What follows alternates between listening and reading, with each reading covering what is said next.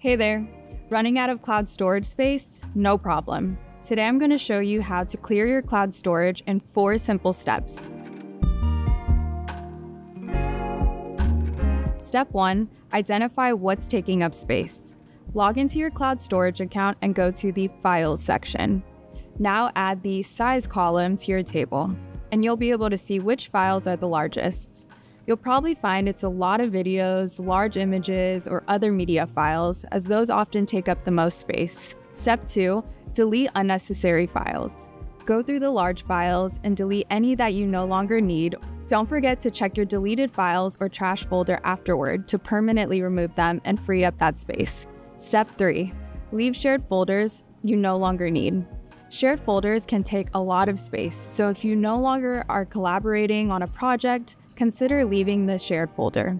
In Dropbox, shared folders are indicated by an icon with two figures. If you head over to your list of shared folders, you can easily remove yourself by clicking on the ellipsis and selecting Remove Me. If you have the folder open, you could remove yourself by selecting the Share settings, finding your name, and selecting Remove My Access. Step 4. Clear out old versions of files, Many cloud storage services keep multiple versions of files, which can eat up a lot of space. Check your version history to delete old versions you don't need anymore.